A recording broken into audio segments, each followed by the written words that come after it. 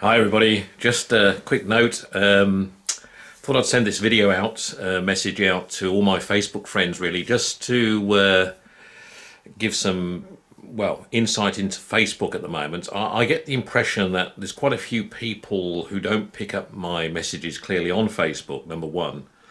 Um, and number two, I've I, over the years I've been on Facebook, I think from around 2008, I sort of picked up through friends of friends lots of people on Facebook who are on my Facebook who actually don't want to don't really have any interest in my in my uh, stuff I talk about. And obviously I don't visit them either. So obviously they they probably establish the same with me.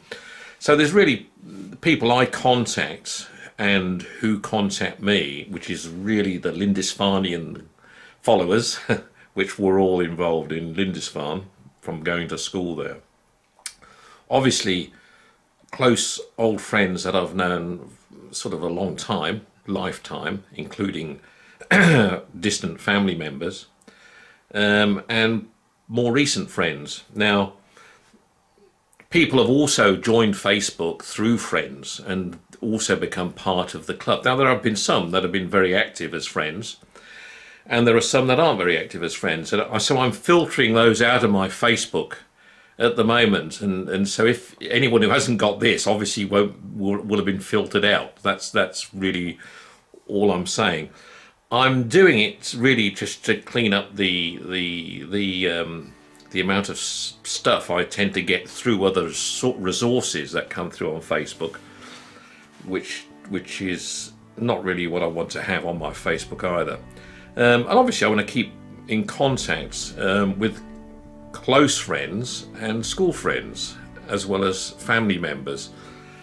Um, and that's it. So that's that's where I am with regards to the uh, issue with Facebook.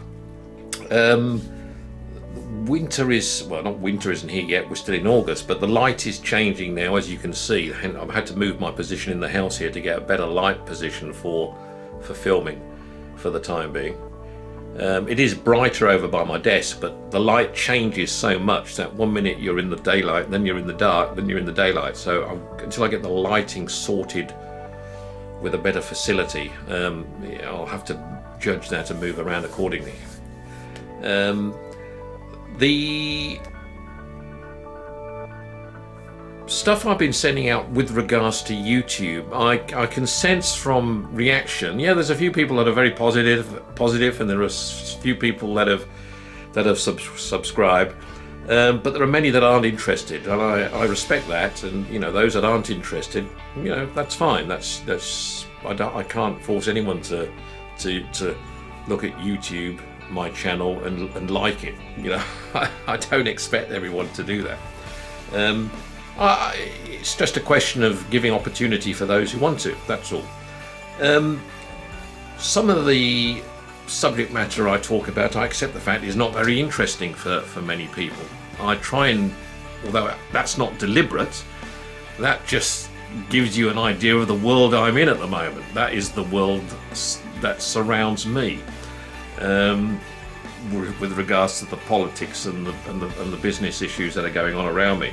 When it comes to the family involvement, as I've mentioned before, I don't use my family video productions as a means of entertainment really. So they do come into the occasional video, but I don't use them all the time.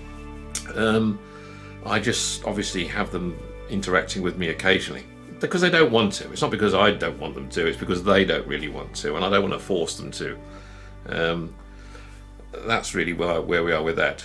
Um, anyway, it was just a short video to let you know the latest updates. Bye bye.